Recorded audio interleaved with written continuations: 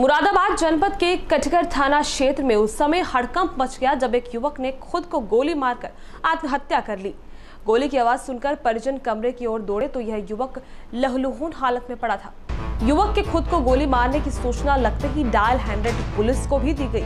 Police मौके पर पहुँच गई और आनंद फानन में लहलुहून हालत में पड़े युवक को उपचार के लिए जिला अस्पताल में भर्ती कराया। जहाँ चिकित्सकों ने युवक को देखते ही मृत घोषित कर दिया। वहीं युवक के मौत से उसके परिवार में चीख पुकार मच गई है। वहीं परिजनों ने किसी तनाव या परेशानी से साफ़ इनकार किया है। फ़िलहाल पुलिस ने शव को कब्जे में लेकर पोस्टमार्टम के लिए भेज दिया है।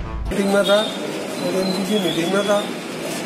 मैं इसे फ़ोन करा ऐसे उसने मारी क्या मारी इसका कोई कोई परेशानी वगैरह थी? ना कुछ नहीं बीमारी कुछ नहीं परेशानी?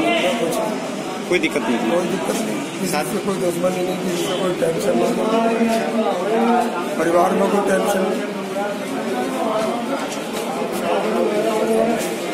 घर? भी बाहर से आया था। तो अपने यार दोस्तों में बैठा हुआ था।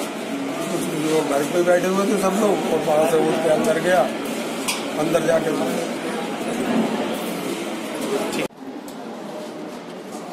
क्या सूचना मिली थी आपको क्या? हेड कांस्टेबल बलवान सिंह बोल रहा हूँ।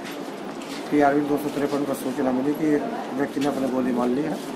मौके पर गए तुरंत से गाड़ी में बैठाया अस्पताल लिया। डॉक्टरों ने क्या बताया? डॉक्टरों ने मृत घोषित कर दिया। परिजनों से कोई बात हो पाई क्या? परिजन साथ आए गाँव से ही।